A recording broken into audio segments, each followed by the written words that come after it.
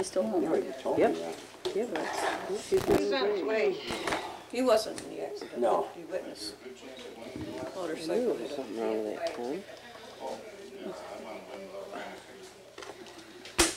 Okay. I have him. No, I just, I mean,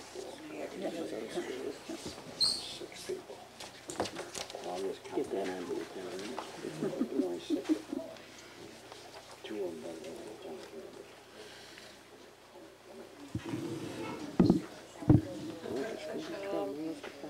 I'd like to call this meeting to order, and we'll begin with the salute to the flag. Ask the flag of the United States of America. and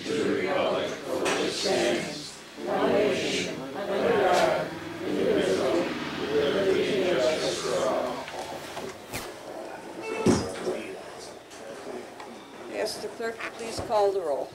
Supervisor Hawthorne, Here. Counselor Edwards. He is on his way, but he was detained. An accident, not, he wasn't in the accident, but He's coming. Counselor Greco, Here. Counselor Haggerty, Here. Counselor Abbott, Here, um, Deputy Supervisor Okonowski. Here.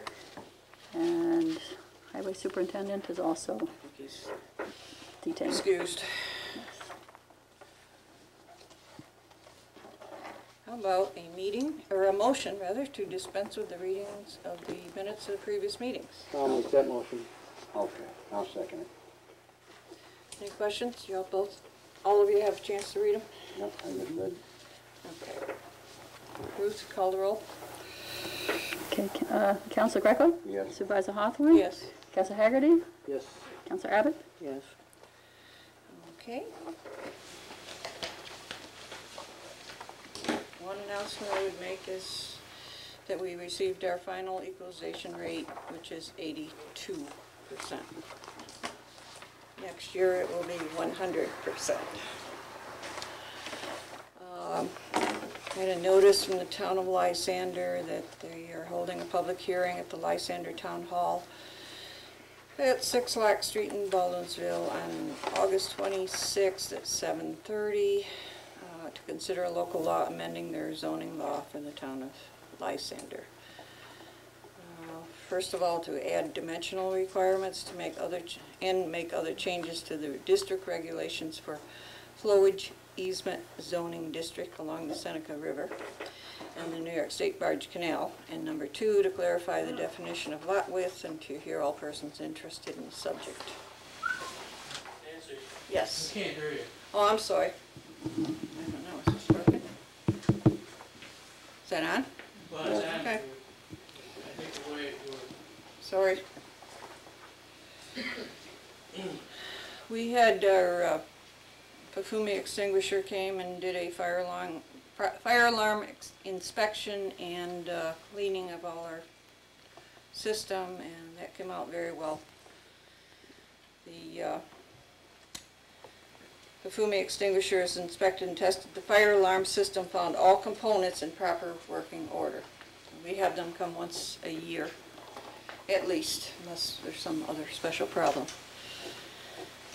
Um, The only item in new business I have, I'm kind of sorry Dave isn't here, because I know he was at the meeting, but You want to do it a little bit there later? it is. Uh, Let's do it now.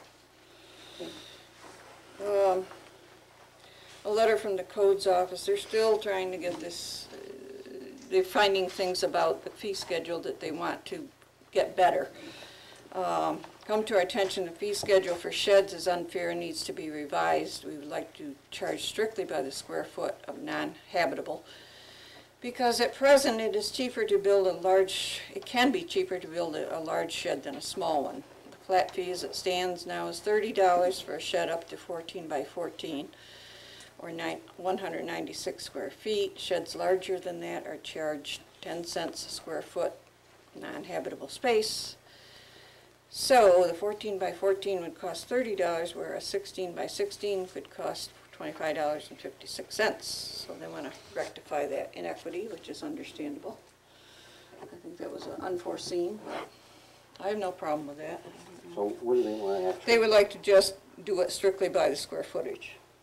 Got And then it. if you have a small shed, it will be just a few dollars, six, seven dollars, perhaps ten dollars. So if you had an eight by ten, maybe ten cents a foot, something like that. Yeah. So we're gonna be all the same regardless of size. That's what they're trying to straighten out.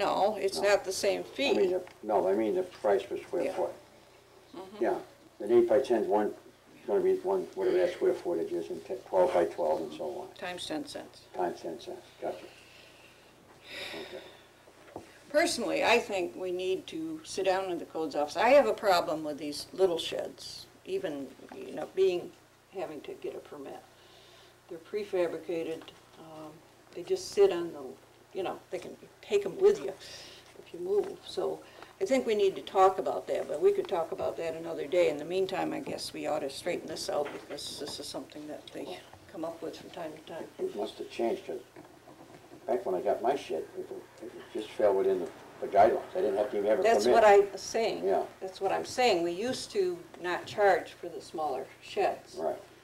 And I, I'm thinking we should revisit that issue and maybe have some standard there. Yeah, but right now, But for now, we're gonna make it across the board, whether it's small or large, all the Yeah. way, okay.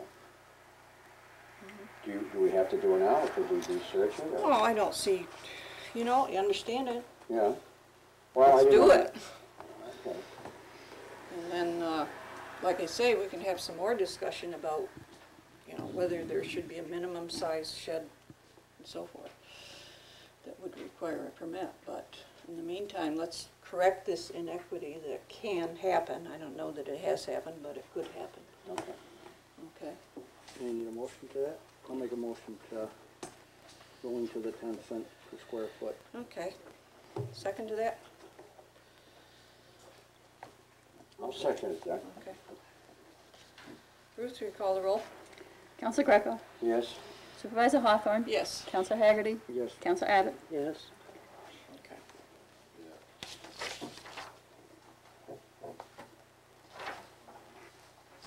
Okay. County legislators, I saw at least one. Okay.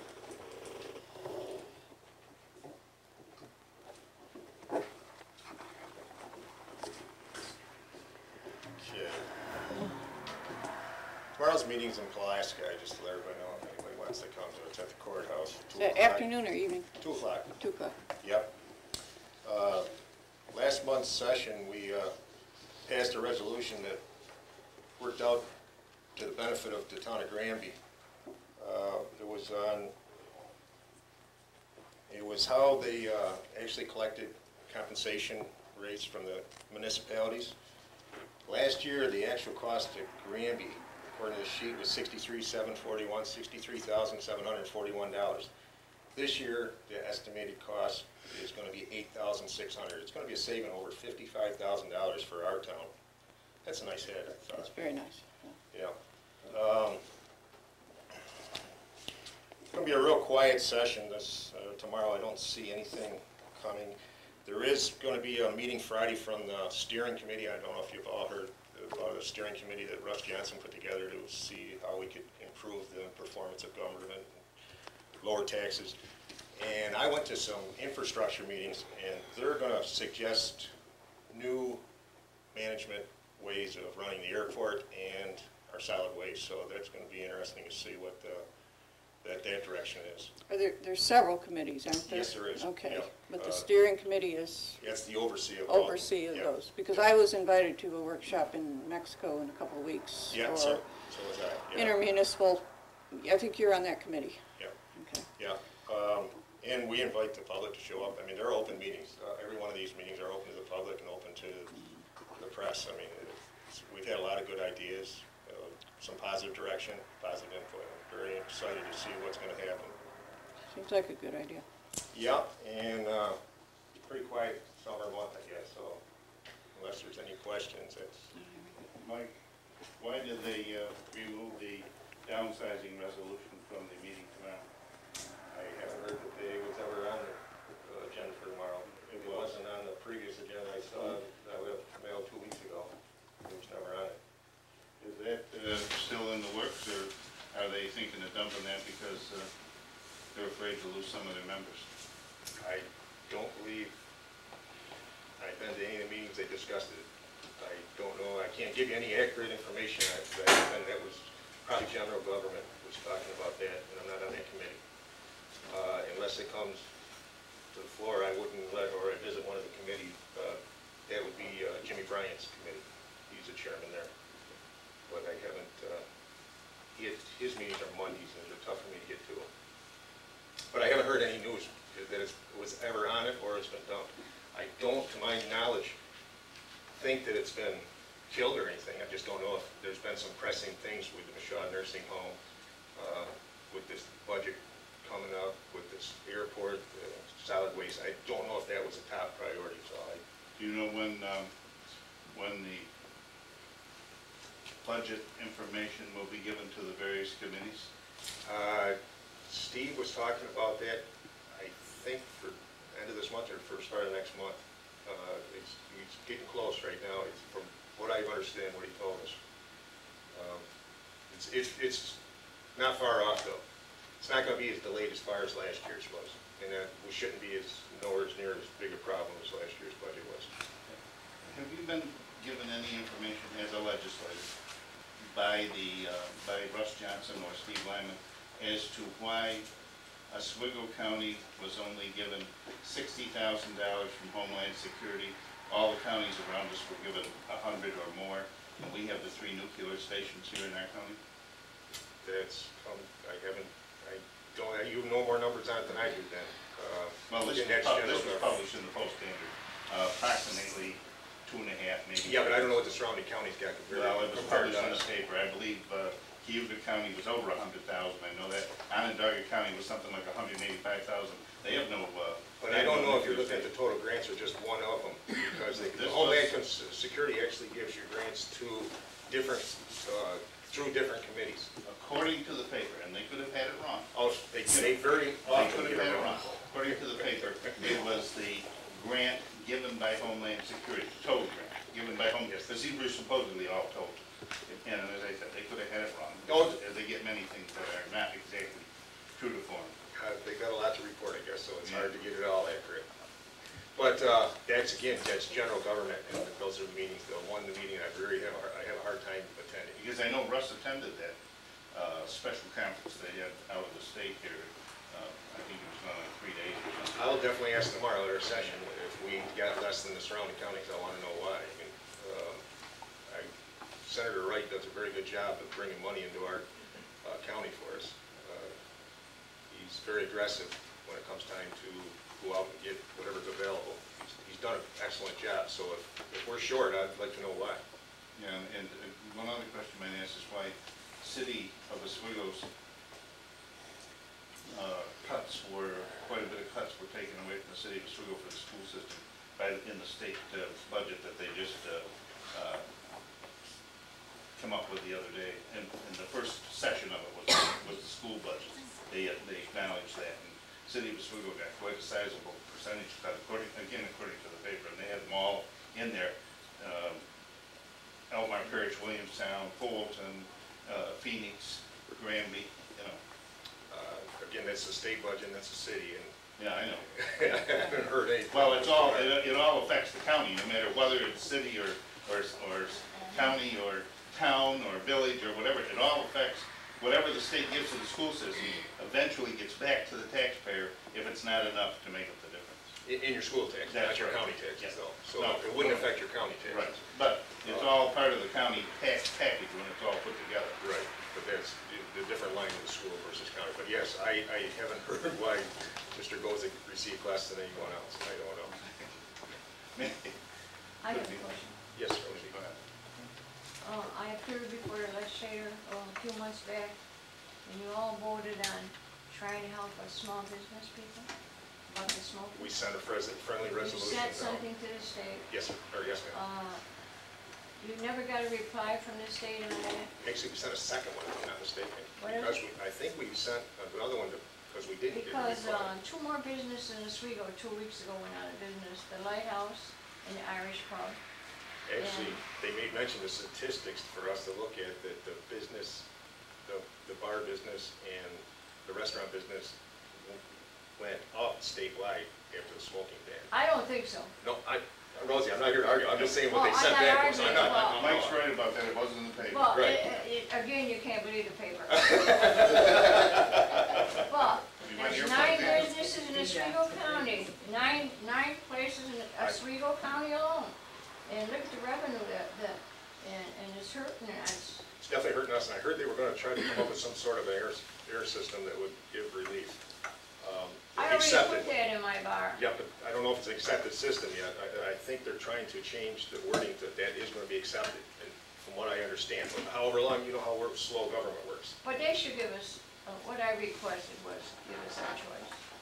Our choice of uh, what we want in our business. Well, especially with a situation like you, where you're a one, one-room bar with one employee. And And most of the time it's you. come in and smoke, and he doesn't, don't come in. It, it, it's his choice, my choice. Oh, I, Okay, would you let me know on that, if you I'll. I'll check tomorrow when I, at the meeting, I, I just get on, we're making on that too. We're having a caucus before, and I'll bring it up.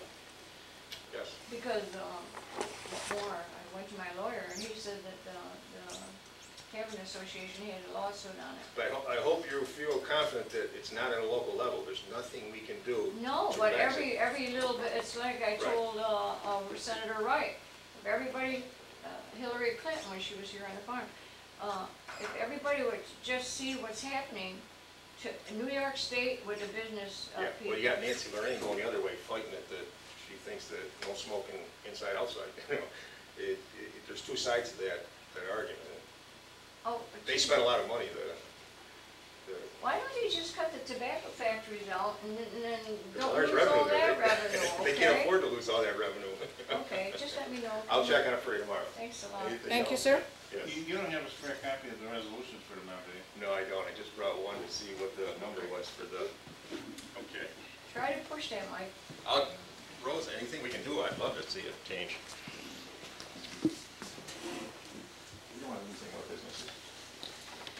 Okay, I have a report from the dog control officer. Number of complaints 38, number of dogs picked up 3, number of dogs destroyed or died none, number of dogs released 4, and number of dogs on hand 1. Uh, we had expenses of two, $3.50 for ads, monthly mileage of 316, uh, impoundment fees collected $10, and adoption fees collected $15.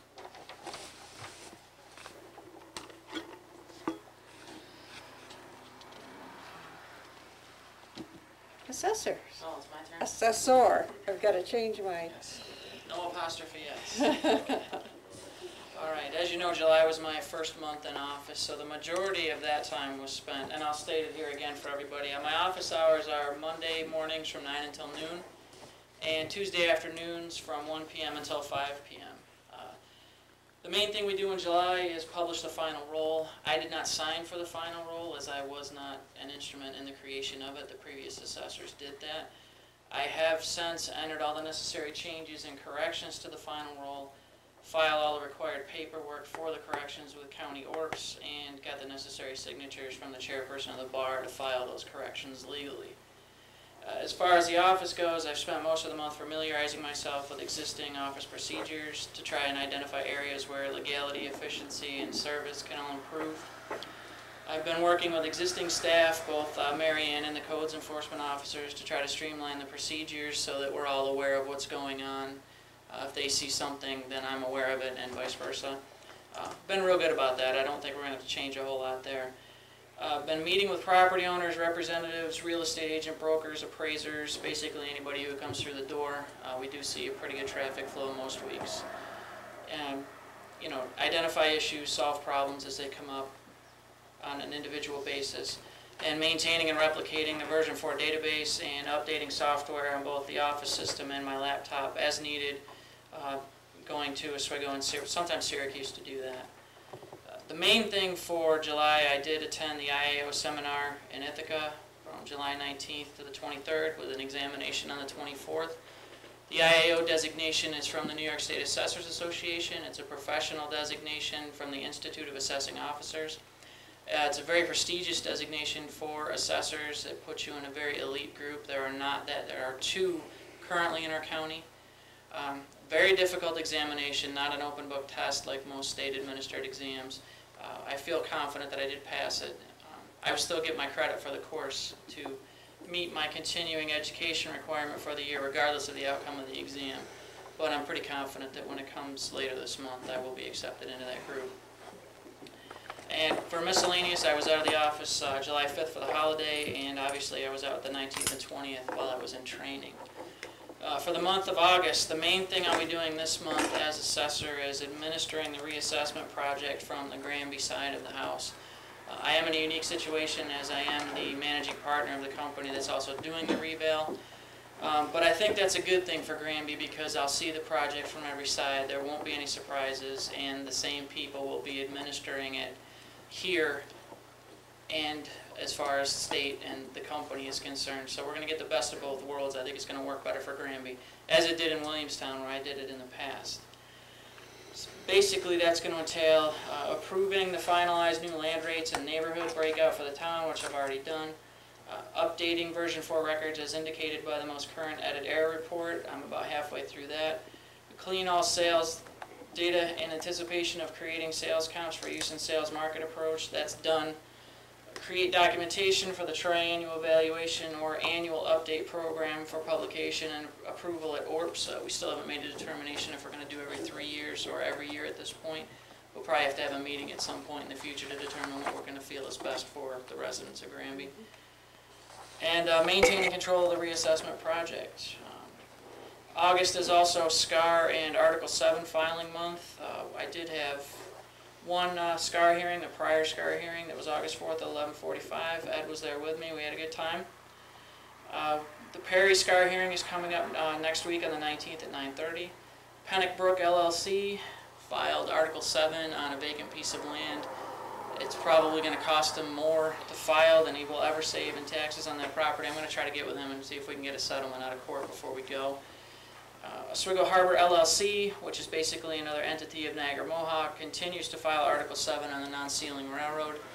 Um, I do caution here on the next page that uh, it's probably a good idea to get that settled as quickly as possible.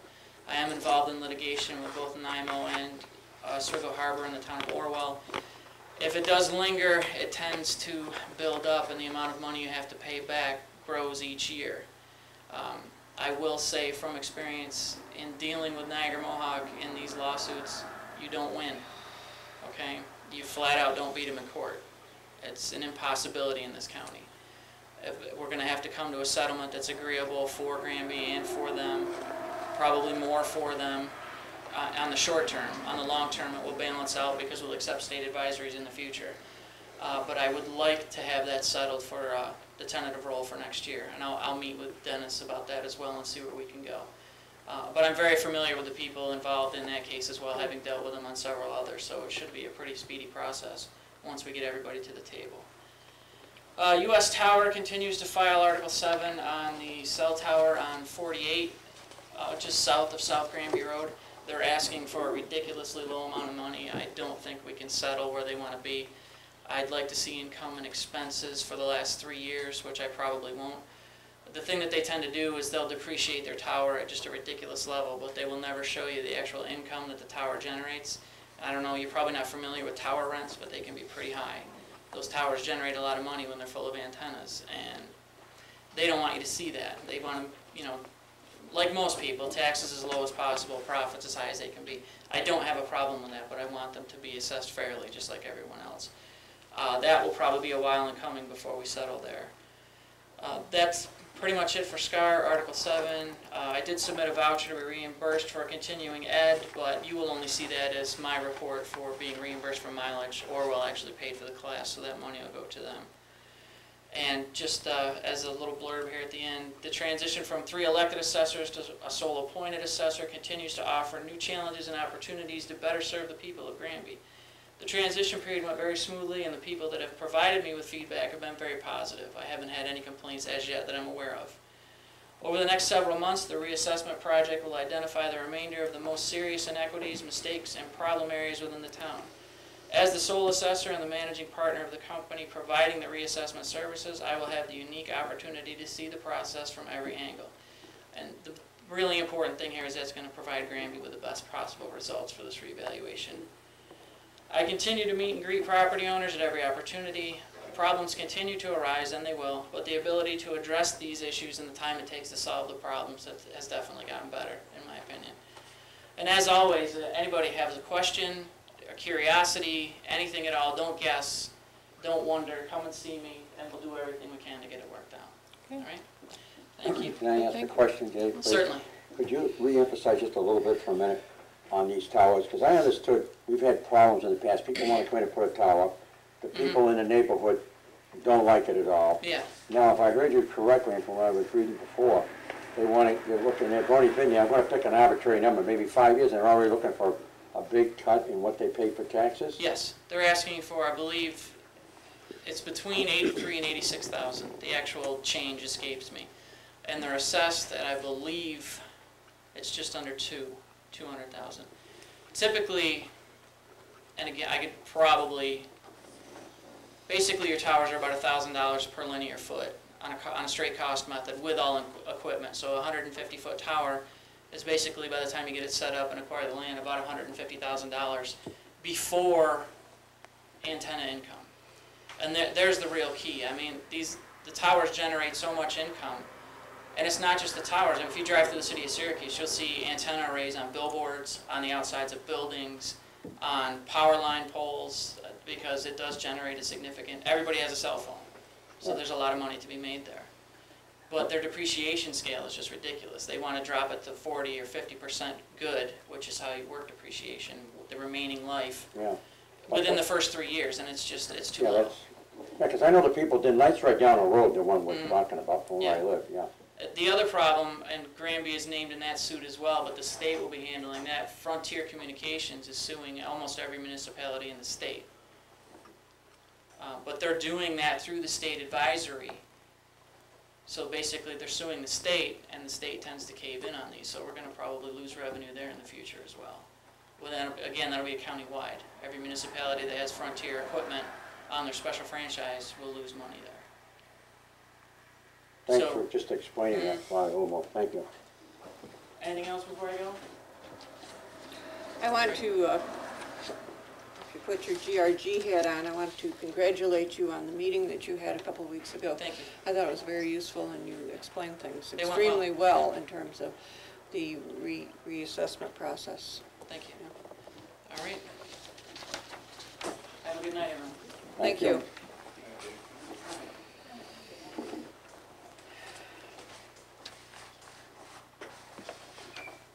Okay, I have a report from the historian. Um, Said I spent a part of June gathering information for my historical project at the Oswego County Fair in Sandy Creek. I put together an informative three-sided poster board which remained on display in the Heritage Building for the duration of the fair.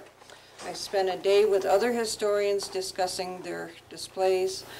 Karen Oakes from Syracuse University is writing her dissertation on one-winged homes in the Granby Center area, and I met with her in July to go over what information I had. I've asked her to supply the town offices, particularly the History Records Department, with a copy of her findings, which she has agreed to do. So that's from uh, Elaine uh, Bullridge, our town historian. Planning Board, you've been going to the meetings, I know. Yeah, they got a number of, uh, they've handled a number of uh, requests, a number of public hearings, there's no one coming up the 18th, Wednesday night. Okay. Uh, I think that's on uh, Mr. Holmes's property, they want to put a business in there. But uh, from what I've seen, all these meetings I've been going to so far since uh, being liaison, uh, planning board, been very professional, they very well, I got their, seem to have their act together, and uh, they handled uh, everything in a very professional way. Uh, ZBA? Yeah, yeah, we posted two uh, hearings last uh, month. Again, this month, the twenty-fourth, we'll post. uh, Is it on the 24th, or is it, I have, wasn't that, that one get changed because uh, I'm using the fourth Tuesday, that was the I know, protocol but they I, for set. some reason, I've got on my calendar that it was changed to the following Tuesday, but I, I don't know why. Okay, I could be wrong. I'll look into it. All right, thanks.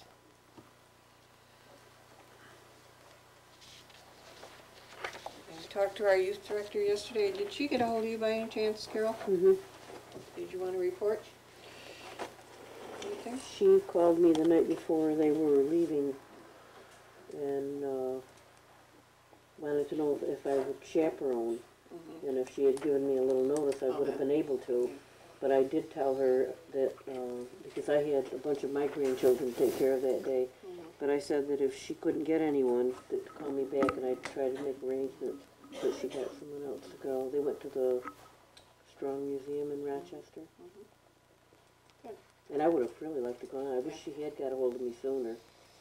She's, I think she's had some trouble getting in touch with you, but, you know, No, I don't know. not knowing, you know, catching you home. But I talked to her yesterday and things are going pretty well. Mhm. She did ask, and I think, uh, if it would be all right if she wrote up some standards for the children's behavior on the buses and so forth and guidelines. And I said, do it. You know, Sounds like a good idea. It certainly is, is a reasonable thing to do, and it also helps the chaperones too, I think. Right. So, uh, she wanted to make sure that was all right, so. Absolutely. It's been pretty good, but she's, you're always going to have a couple of children that are, that are unusually difficult, so. But she's worked a lot with parents and, and some difficult children, so she knows how to handle these Oh, yeah. situations. General consensus is the program is going well. Yes, yes, very well. She met with uh, Brian Chutney from the Youth Bureau yesterday. They met here in the conference room for a, just a review of the program, evaluation of the program. Okay, Apologize for being late. it's all right. Unfortunately, those things happen and Well, these things happen, and uh, Lynn is not here tonight because things happen at his house. Right. He had a uh, car run into his house yesterday and do some, some damage, so. uh, Two hundred feet, over two hundred feet off the road too, unbelievable, I saw it It's today. amazing that she missed the trees and, this, this, this person motorcycle hit the truck and, Nancy, that'll teach him to be a highway superintendent. yeah, State Road. yeah. But, No uh, one got hurt, did they? I mean, no one- She's all right, she, we got shook up and hurt, because I was talking to Lynn today, and she's in the hospital still, I believe, but she's seventy-five years old, nobody knows what happened. She don't know herself what happened, how she did all this. she ended up airborne. I mean, so it was, must have been a frightful thing. But it did do some damage to his house. It pushed it in. The bedroom wall is a little closer to the bed. Yeah. Had to get somebody jacked up and everything, you know? I know he's very busy with, uh, the summer, uh, road projects. Yeah, they've been paving, they were paving today. Oh, well, well, they were working with Oswego Town. Yeah. That much I know. Okay. Do the code enforcement report?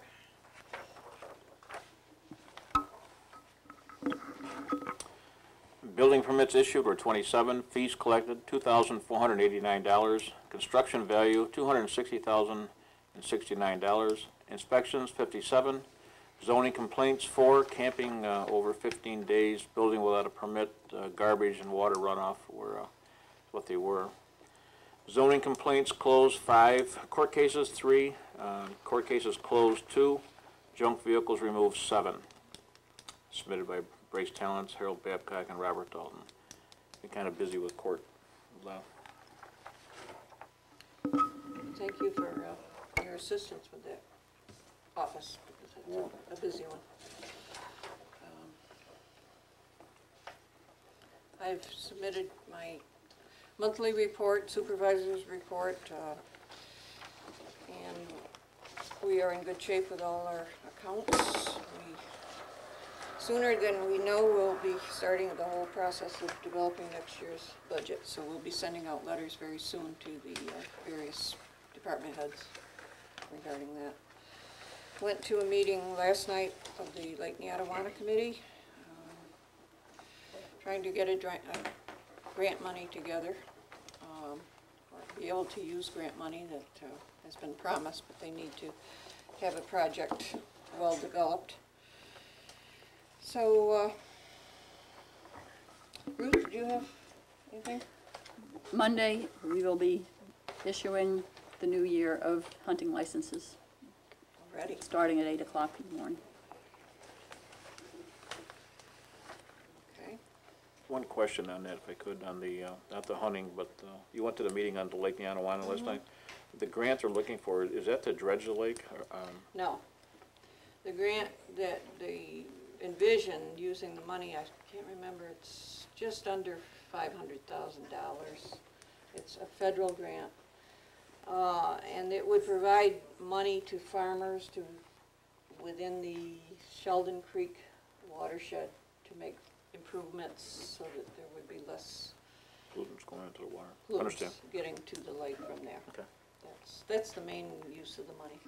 Uh, Dredging gets into millions and millions of dollars, and there are people that are still pushing that, and it'd be nice, but, you know, that's, that's awfully big money, Yeah.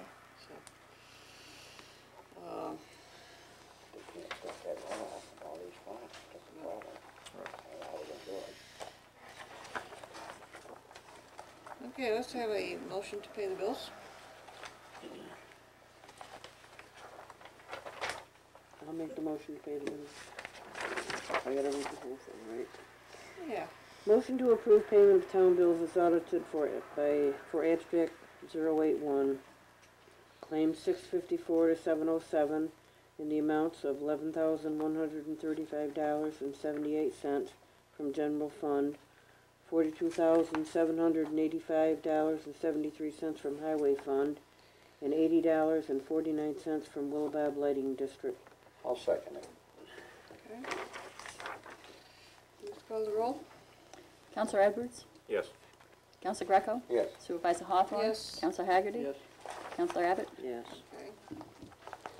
We have our work meeting scheduled for the twenty-fifth, we'll be working on comprehensive plan. Um, the regular meeting is scheduled for September eighth. And I'm hoping to schedule a meeting with, uh, a special executive session to discuss highway contract next week, if we can get something together, I guess, I guess I'll have to Next give you a call. Does that work for you by I'm any out, chance? I'm out. Oh, okay. Well, we need to do one, at least one meeting in, in August because time is flying. Well, So Works for me. maybe we'll get one meeting and get it off the ground and, uh, 'cause it will take more than one, I'm sure. what day are you thinking next week, Tuesday? Tuesday, Thursday, I won't be here Tuesday. Yeah, I mean, only night I'd have is, I think I'm available Tuesday, I don't know. okay. It's a possibility, so. I'm working on that one. 'Cause we really need to get that set up. I'm gone for. Okay. Anyone have comments or questions or come forward? First of all, I'd like to say that when you sit up there and you're talking, we can't hear you. I'm sorry, I, Well, another thing, you seem to carry on your conversations amongst yourselves and we don't hear you because you get lower and lower and lower. Now, we like to hear it. You know, it's, that's uh, why we have the microphones, I thought it was picking it up better, I, I didn't think I had to yell, and I guess I, well, you can hear me and I don't use the microphone.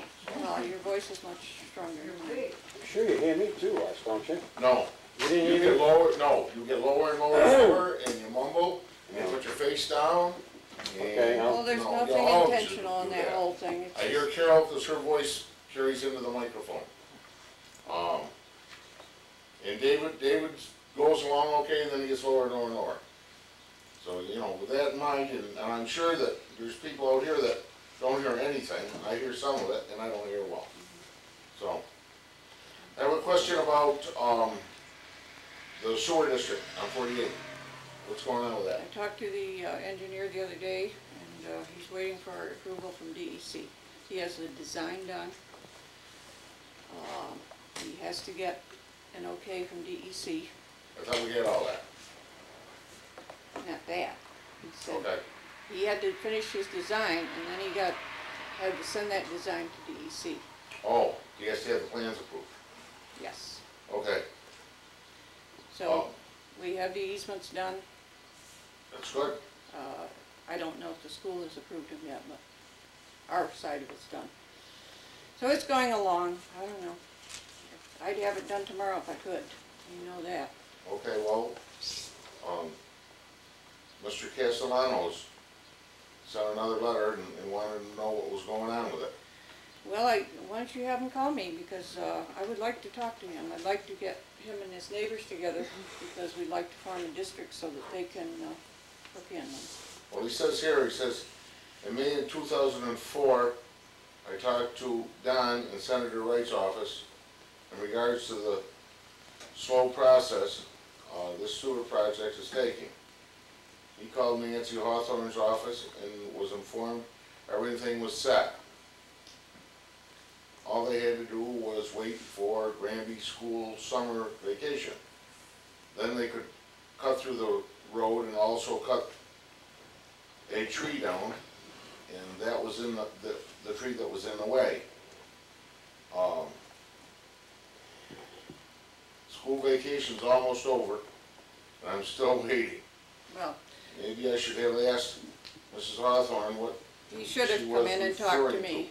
Um, what year she was We're referring to. talking to, you know, third-hand information here, so have him come in and talk to me. I would like to have him and his neighbors come in very soon and, uh, get his part of it. See, he's, there's confusion because the, actually, the grant has nothing to do with his hooking onto the sewer district.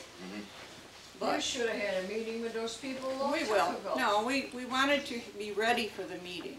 So we, and I talked to Mr. Guminiak. Remember, I, I said, I we know, I, should, when I we're was still up going there, to do it. you should have called a meeting with them then. Well, we weren't ready, we didn't We have had the no numbers. numbers, exact That's, numbers. Oh, thank you. But I talked to Mr. Guminiak the other day about that. Julie. And, uh, we're going to, we're talking early September to get the people together. It's kind of tough to read, So, but we get it. Okay, um,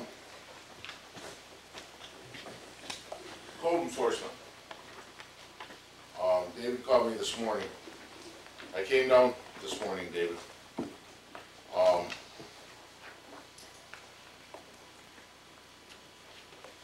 it's gotta be me.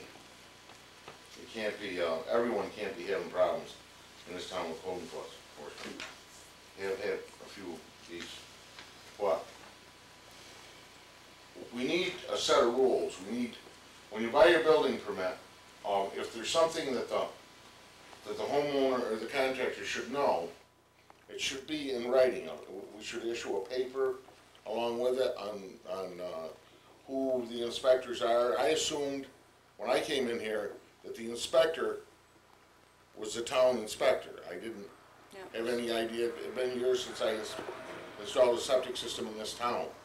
And in, in the meantime, I've talked to the, um, uh, the health department in Oswego, and they told me, uh, that the town code enforcement officers have the authority to inspect ordinary systems, three hundred foot systems that are ordinary. They, they, the, the, um, the uh, architect draws up the plans or, or writes up the plans, tells you the perk test, tells you it's gotta have three hundred foot. Um, there's no raised bed or anything, then they can go right ahead and do it. Uh, and the code enforcement officer in the town can inspect that. Um, Mr. Babcock has showed me, uh, some paper from the state that says that whoever draws the, uh, the plan has to do the inspection. Well, here's the, here's the trip. Mr. Getman doesn't draw a plan. Mr. Getman does the perk test, writes it up, and anyone that can read his, his writing, his, his, uh, the way he writes it, it's the, it's legal, uh, it's a legal design. He, he just tells you what the, what the perk test is, how many feet it needs. Um, it says, uh, I believe this will provide enough in- information to obtain, um, approximate pricing for your contractor. Plans approved by the Oswego County Department of Health should be prepared. However, this requirement is at the discretion of the local enforcement officer. If you have any questions concerning the test results, uh, need plans, or have questions concerning your septic design, please write or call our office. Well, I called Oswego, and they said, a normal three hundred foot, thousand gallon system, there no, the health department doesn't require plans on. Therefore, this system, that's what the system came under. I brought this perk test in, and I handed it to your code enforcement officer, and he said, fine, you're all set. And the building permit was handed to the homeowner. Nowhere on here does it say that Russell Getman has to inspect this system. On the building permit, it says that the code enforcement officer inspects the plumbing, and I believe it says septic too, I'm not sure. But it, it doesn't matter, you, you, you think that you're dealing with the right entity. And I also sent a fax to this office saying that I was installing the, the tank, installing the system this week. And no one called me, no one sent me a, a letter. Uh, matter of fact, any letters I've sent here, only one, you sent me a letter back once in return my, uh, uh, reply to me, Nancy. But, um, I installed the system. Mr. Getman, the, um, the code enforcement officer won't issue the occupancy permit because he says the, the, Mr. Getman had to inspect it. Mr. Getman won't inspect it, it's covered up, you can't inspect it. Because the code enforcement officer, I assumed, was the guy that was gonna do it. Um, I don't think we have a problem here.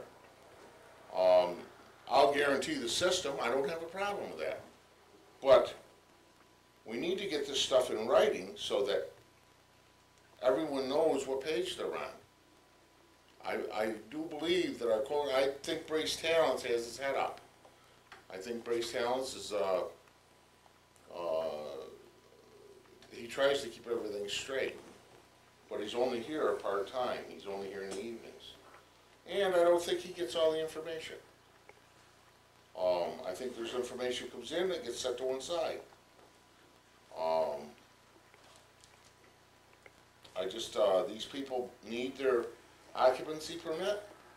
They need it for their, uh, their, uh, last draw from the bank, and the bank wants that.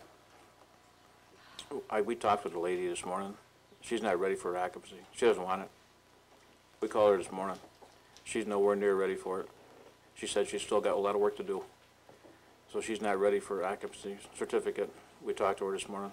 Well, this lady's called me several times, telling me that, that this system was holding up their occupancy permit. It's not holding it up at all. As a matter of fact, she said she doesn't need it. We're on the phone with her this morning. She says she's nowhere near ready. She's still got a lot of work to do inside yet. I talked to, I talked to Harold Babcock this morning, and he told me that he'd made all his final inspections. And she, and the house is not ready for, for occupancy. Right from the lady this morning, after you talked with Miss, with Harold. We followed up on it afterwards. Not ready.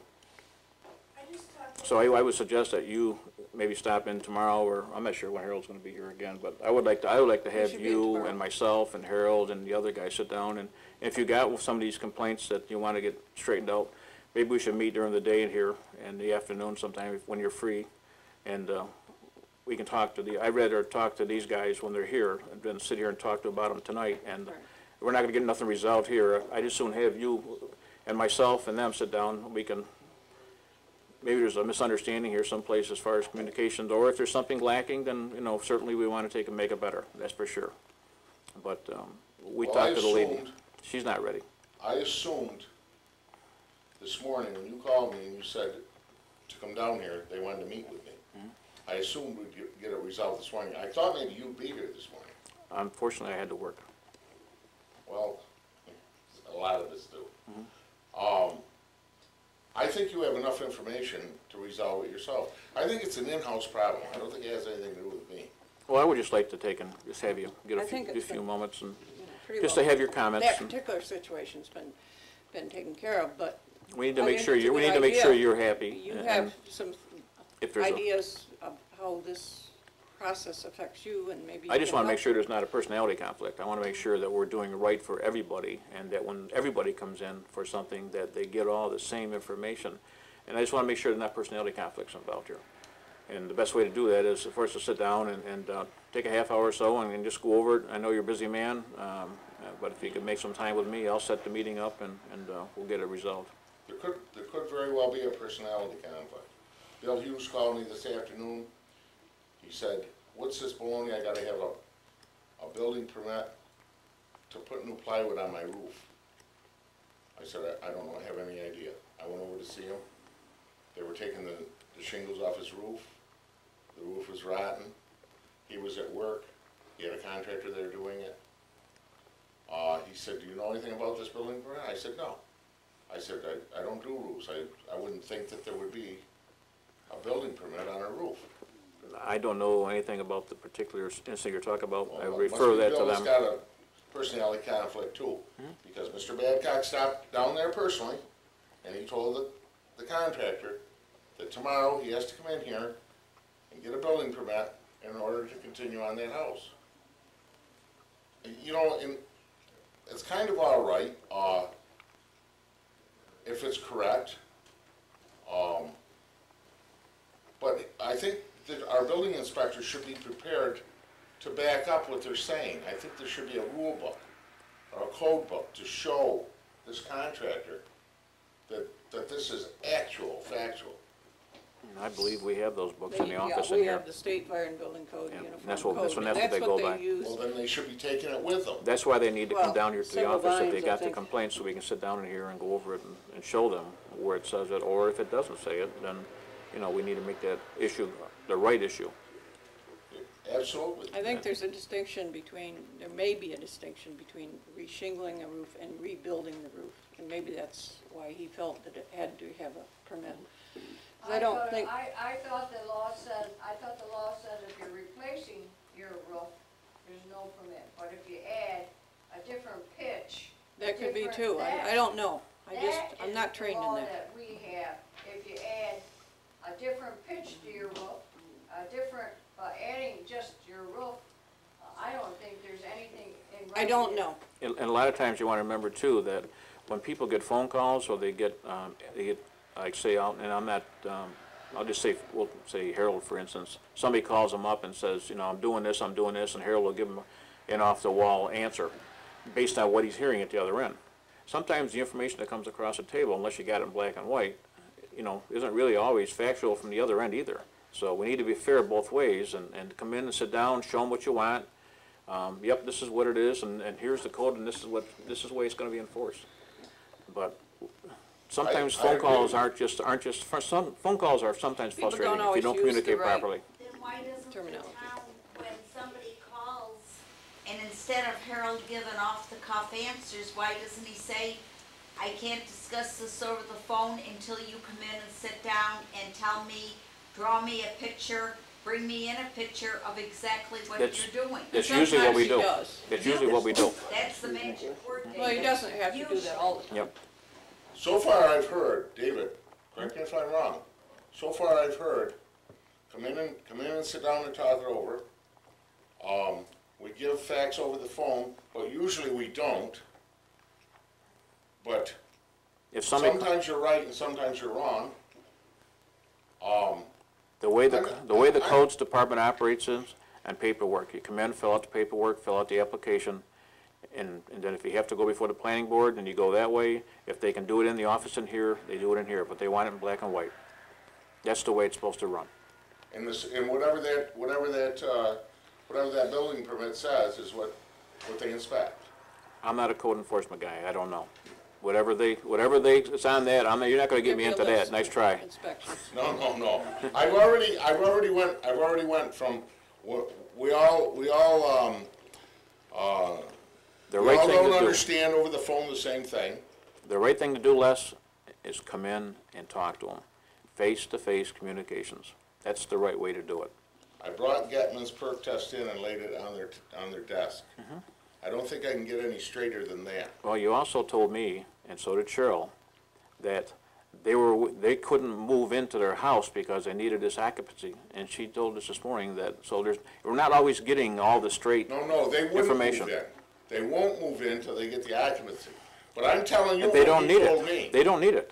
What he's telling me. They're not ready for it. Wait a minute, you talked to Lisa, I talked to Jim just this afternoon, he was at my house, and he asked me if I talked to you yet, because he cannot get his last draw from the bank until he has that occupancy. And told she's not ready for it because it won't, it it will not pass. She's not, she's got more work to do. She's not ready for it yet.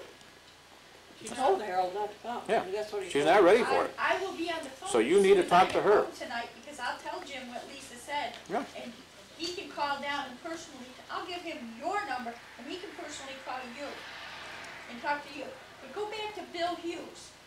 Harold Babcock showed up down there to turn around and shut him down for repairing his roof and putting new shingles on. Why didn't Mr. Babcock have his book with him to show that contractor the rules? I do not know that. Why don't you ask Mr. Babcock? Because you're his boss. is- is I'm not his boss. the Come on, we, this is getting these carried away here. We've had more. But we're just satisfied. Where do we, where, where do And we? the best way to resolve it is to come in here. Dissatisfaction. I mean, you're collecting our tax dollars, you're representing us. Where else do we vent our dissatisfaction?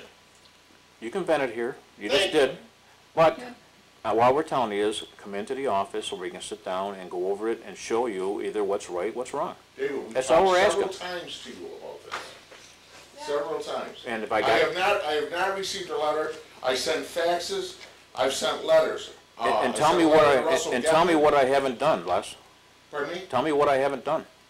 You've talked to me a couple times on it. I've called you back, I followed up on it like you asked me to. And what we're being told is that she does not want the occupancy certificate because I'm she's not ready for it. But I'm back. I'm So I haven't done I'm no- I haven't- side. I haven't not I'm done hearing anything. that from you. I haven't heard that. I'm hearing the other side. You understand what I'm saying? But I haven't not done anything, I mean, you're, you're sitting here saying that you've talked to me several times and nothing's getting done, and I don't think that's a, I think it's a cheap shot. No, it isn't. We haven't had a meeting. Have we had a meeting? No. Okay, I came to your meeting today. You said, Mhm. the code enforcement officer wants to meet with you. I was there. Okay? I went in, Babcock's going, I don't understand this, we got, we got a, a, uh, we got a, a, a building permit by somebody named so-and-so and one by the name of Bailey, and it's all on the same thing, I don't understand it. Um, uh, I don't know what's going on, uh, so we went back to square one, and we explained it to him again. But because you came in, it is getting resolved. Thank you, thank you. Nancy, Yes. what I, I'm not anything involved in this, except I'm confused listening to everybody. If Harold Babcock or whoever is part of the coding, and they go out to shut down a job, shouldn't it be part of their thing to take a code book with them so that they know what they're talking about? I don't know, as I recall, these code books are Nancy, not, what do you mean you don't know? may I finish?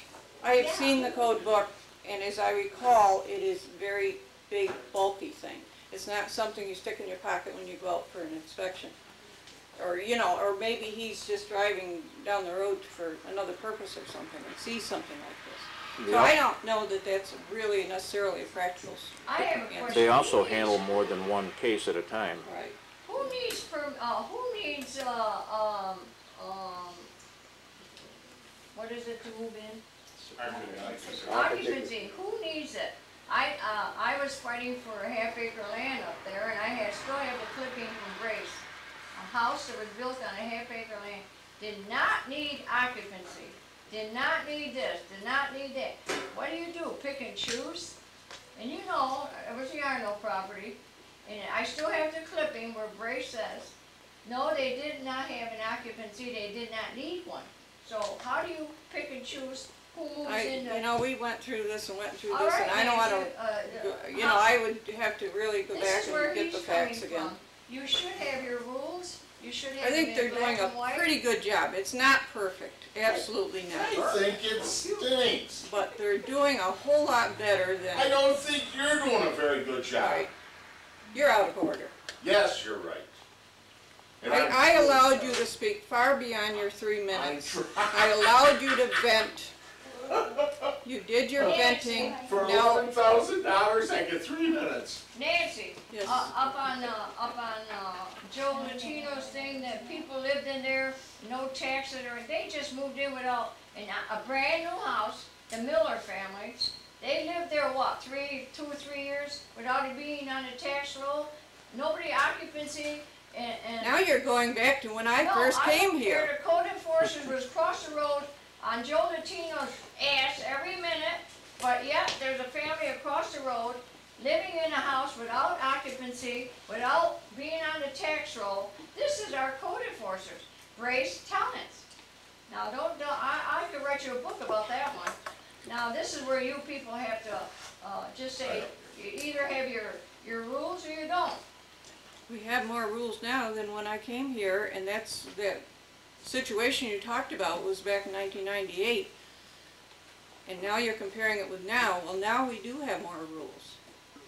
And it's not a discrimination thing, because it's a whole different situation with different people and, and new rules. Brace is not different.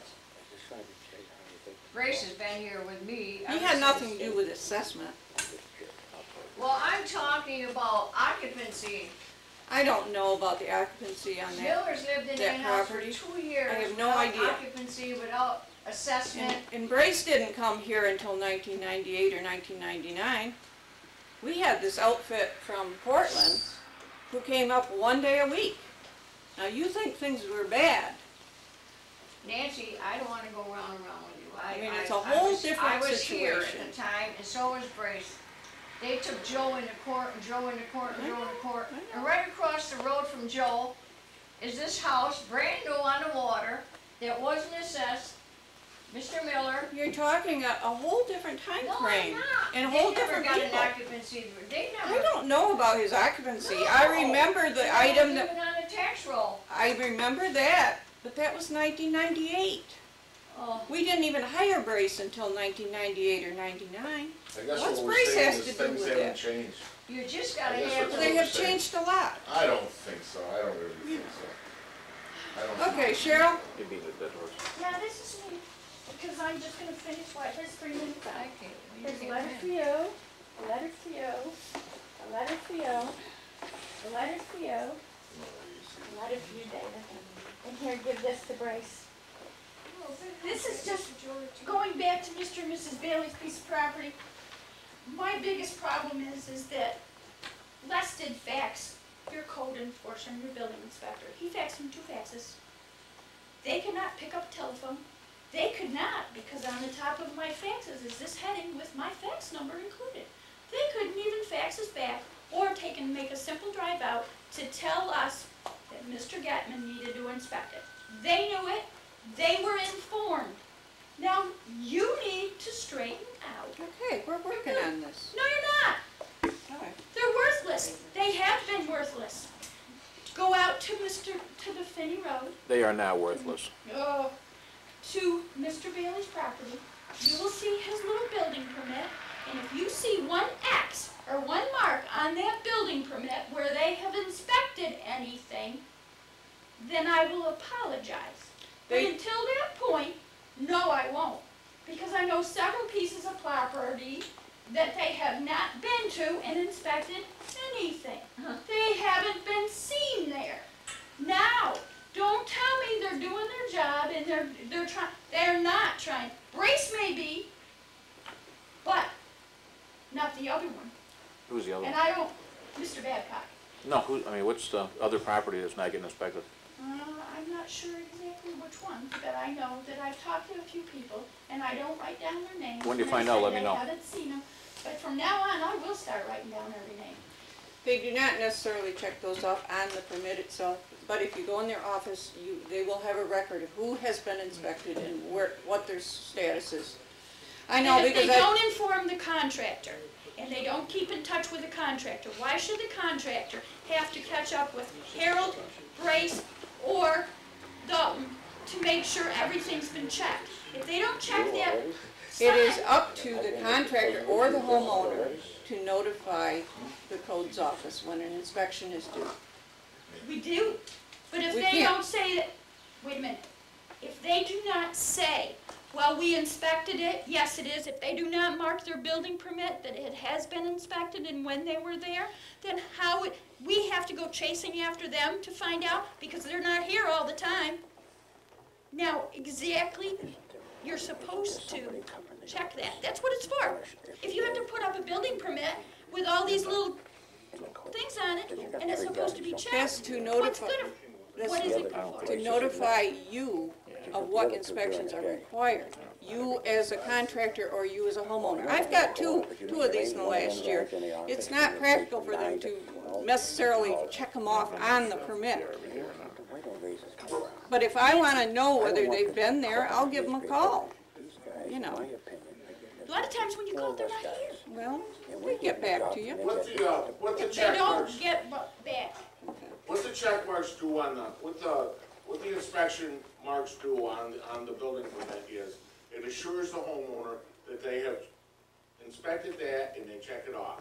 That gives the homeowner a record that, that they inspected their cellar and it was checked off. That's what it does, is give the homeowner a record. That's just like the letters that I send to the, the building inspectors or I send to you. I don't ever receive answers. No one puts anything in writing. Is there a reason for that? Yeah, because then you can sit there and you can spin right around in a circle and change your minds and change things. That was ninety-eight, it has nothing to do with now. It works good. When someone writes you a letter, or faxes you a letter, you should have the courtesy to fax back, okay, checked out on such and such a time. Or, I am looking into it on the Route forty-eight, uh, uh, uh, sewer project, and I will let you know on oncoming things. And I It's- called it's just you. a courtesy. I called you. Yeah, you did. I called you that same day instead of waiting to the next day. Yep. Did you want to write a letter also? I- You know, I mean, you're beating things to death here. I, I think there are Now problems. you're making it sound, now you're making it sound like, uh, uh, uh, like I'm, uh, like I'm misusing you because you called me. If you'd have sent the letter, there would be, there would be no problem. I thought it was better to talk to you directly. I'm sorry. Well, send the letter next time, I like it better, because then you can't spin it around like you do right now. You told me on the phone to call you. And I called you, and s- the only thing I did different, I didn't call you the next day, I called you that same hour. You called me right back, yes, you did, you Yes. said at this time, right now, at this time, they're, they're working on it I right now. answered, yes. And, and, and that, that's great. And, and I told you that, that, uh, that, uh, even if they get it done, the architect said it's gonna take two more months before he gets his end done. And you told us last February or March that we were, alls we were waiting for was the school system to shut down so that we could cut the road and put the sewer in. Am I wrong? I'm not sure that I said that's all we were waiting Oh, for. I, must be. I do not know all the steps in this, and there are steps that have come up that I didn't know were even involved. All I knew was they could not do it. There's two ways of saying this. They could not do it before school let out, or they didn't want to do it before school let out. okay, Okay, one more thing. David, Mr. Spalding, it's been almost a month. I think he's had thirty days. I haven't seen the first vehicle, the only thing he's done is mow his, mow his grass around him, hasn't moved the first one. So our, our, our building inspector and code enforcers are doing their job? I will follow up on that. Okay. anyone else? See, when Yes. the building inspectors, like, we use as an example, this roof thing, that this contractor was shut down. They got this great big huge book that isn't, um, practical to carry with them. All right, so they know they're going out on a roof problem.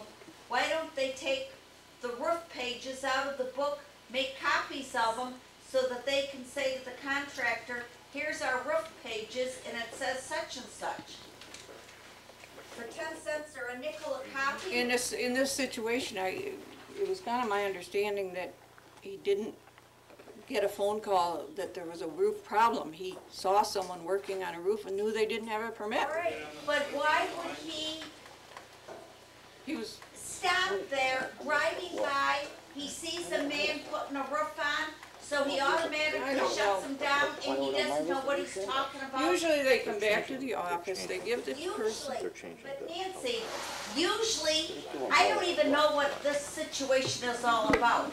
But what I'm saying is you can't go usually. You can't shut down a job if you don't know what you're talking about. Whether it's a roof, a sewer, a garage, a new floor. they have a procedure. And, and I wish you would get the procedure from them directly, because I don't want to say the wrong word. Um, They ask the people to come in the office and get the permit before they proceed with the work. But If they you don't need come a in the permit. office, then there's a big sign goes up and it's a, a But if you formal, don't need a permit, like say for a new well, roof. I don't know. I We, don't we don't know know if this they need a permit or situation. not. Well, neither, neither do we, but, you know. That's why I say, if you come in the office, we'll find out. We're not, certainly not gonna resolve it I here. don't think, I don't think there's a, a, a, a, a rule that says if you pitch your roof different, They must be doing something different, I that's don't all I know, can say. you know, I- we shouldn't be talking third party, we're not it makes no sense at all. roof on, uh, Nancy, I, I bet my place on it, but if you put, I know, I- add uh, dormers or something, you need a That's permit. correct. But doing the same roof over, if, if, if if they you say you change the plywood, maybe, maybe that's it, I don't know. changing the pit. I, I guess I'd like to know, why is it so hard for people to Yes, come in the office? Don't Frank? they like it? I would recognize Frank Fox. You don't get anywhere in the office. I would recognize Frank Fox. I am sorry. Right. I don't- wanna speak over you, my understanding, and it goes back quite a while, was that if it's a structural change to a building, then you need a building permit, okay? If you're putting a new roof on and, and they're tearing the the shingles off and they see a rotted plywood, and it doesn't change the structure, they can put a ply, piece of plywood on. Now, if you stop them from doing that and it rains, this homeowner's gonna turn around and sue you. I, no, really, I- and, and- and I don't wanna be paying money in taxes to you or to your attorneys to do lawsuits. So I think it's imperative that you get, you people are the governing body of, of, of the town. And, and if, if you can't straighten out the building people, then who can? And to people that vent their frustrations here, I guess it's, it's a matter of communication problems here. A lot of it is communication. And I think that you better straighten out your other department and, and find out what's going on. We have to find out if there's a problem first. Well, Sitting here right now, I can't tell you, I don't know there's a problem. I have no idea. All I'm doing, I'm just hearing what you got to say. I wanna hear the rest of the He story. said, she said, he said, she said, I, we Until I need talk to the have coast them- people, I'm not taking You any know, side. you know, If he, if he's shutting down just because someone's putting plywood on a roof, to They're not gonna shut it, it down just for simple reasons. There's gotta be a reason. That, that, you know, you check it out and see, find We'll out what the, check it out what- tomorrow. find, Find out. find out what the situation is. I don't think you need a permit to replace your roof, that's, No. that's, oh. that's ridiculous. We don't know what, what the case is all about. They So once we six find out, weeks of My sealing, question I is, I don't see a think lot of that, heads nodding yes, is that if it's a structural change, if you're putting a new porch on, or you're putting an addition on, or you're we know putting that's true. something, then, then, then, then you need a permit. If you're putting a, fixing a roof from the snow damage last year, and you're just doing it, you gotta put some plywood underneath to fix a, a broken truss or something, uh, there's no building permit needed for that, Getting in a or little wrong. bit more of a gray area, I wouldn't wanna comment on it. tomorrow we'll get the rest of the story. But I, I think the public should be aware of what's going on, because if they're not, then you're gonna have a problem of somebody fixing their roof, and the building inspector's coming and saying you can't put a new roof on until you get a building permit. Well, if you wanna come in the office tomorrow, and, and we'll find out. One thing that I have said to our code enforcement people is please be consistent and please go by the state code, that's That's all. right. That's all we can do. Sometimes there's miscommunication, We will find out. Uh, what- sometimes there's mistakes, but, um, This that's is all I Mr. can Hu- say. This is Mr. Hughes, is that what it, where's, what's the address on that? He is. Old Route three. Old Route three? Three? Bill I'll be talking with him tomorrow. Okay, and I really appreciate your assistance, because I know that Dave has put a lot of time into improving that office. Right down the road from me, Dave. I'm sorry? Right down the road from me, on, on the same side. This Brookview you're talking about, right down the road from you? Right Yeah, down, it's right- right Isn't across- that Devin where- Burr's old house? No, It's that's- where St. Ange's was. St. St. Ange's Ange's. old house. Okay. Right. Down- Anything, anyone the- else? Yeah, I want, I got something else. Okay. Okay, back to the sewer on Route forty-eight. December tenth, uh, from James Wright. Dear Mrs. Castellano, thank you for writing my office regarding the problem that you and your neighbors are, have had since ninety-eight, getting connected to the existing sewer line. I have just received confirmation that an agreement between the town of Granby Fulton School District and the city of Fulton has been finalized. The project, the project to connect you and your neighbors to the existing line should now move ahead, and I am pleased to contribute to this worthwhile project. James Wright. December seventeenth. Dear Mr. Castellano, as I promised, I am writing to bring you up to date regarding the town's purchase of the school district sewer line. The two attorneys prepared a written agreement which was formally accepted by the town last week the school district last Saturday, and which was, and, and the school district last Saturday, and which was approved by the city last night. This was the key milestone that had to be reached, and I'm thrilled to report a success. Our attorney has been keeping Senator Wright and the Oswego County Health Department informed as to our progress and will continue to do so. We intend to move forward as quickly as possible, including the legal work required to expand this district to your side of the road. I only hope that the four or five property owners just south of you will be anxious to cooperate as you are. Nancy Hawthorne. And that was December 17, 2003. Now, in February, you said that we were, once again, I'll say it, you said that we were gonna do this project when school shut down. Well, I We're not was, gonna get I to it was till November. unrealistic on my expectations, that's all I can say. I didn't know that some of these things were gonna take as long as they, they take. Okay. I really didn't. I've not been through this, I didn't know that it was going to, you know, Well, run that's- into a situation with, well, we can't do it now because there's snow on it, or we can't, we've gotta get an under, uh, written okay about the trees, there's more than one tree, you know, who, who owns the trees, and, you know, everything takes longer than you expect it to. Well- And I regret it. If there's anything that I would like to get done, and you got- ought to believe this, this has been the biggest thorn in my side for six years, and if it could get done yesterday, I'd love it. If we have to buy pumps down there, it's gonna be a goddamn waste of money. I know it. Well, you know that. That's why I don't sleep nights. You know, we gotta, if we- if we can possibly get that going, Well, we're doing as fa, like I said, I've talked to the attorney this Okay. week, I talked to our engineer this week, thank you. and I, you know. Anyone else? I make a motion to adjourn. I'll second. All in favor? Aye. Aye. Thank you.